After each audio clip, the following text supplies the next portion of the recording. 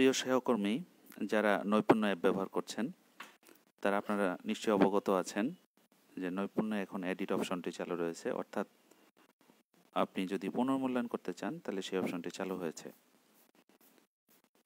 প্রথমে আপনাকে লক্ষ্য রাখতে হবে আপনার মোবাইলে V one point two point seven এই লাস্ট ভার্সনটি আপনার মোবাইলে ইনস্টল করা আছে কিনা।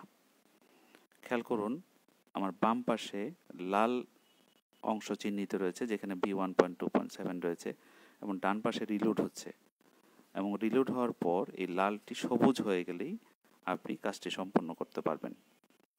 এবং এটির জন্য আপনাকে অবশ্যই অপেক্ষা করতে হবে।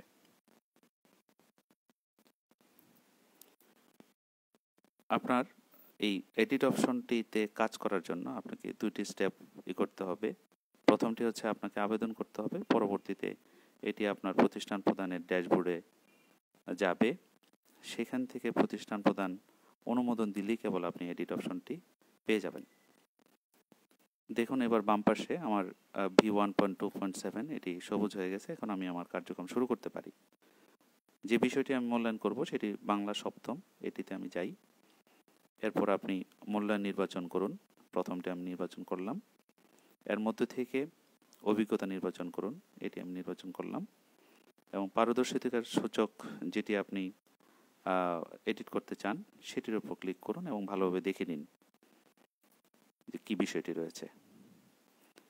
এরপর এটি বন্ধ করুন অপশনটি। বন্ধ করলে দেখুন, ডান পাশে V one point two point seven এর পাশে একটি প্লাস বা স্টার চিহ্নিত অংশ রয়েছে। এখানে ক্লিক করুন।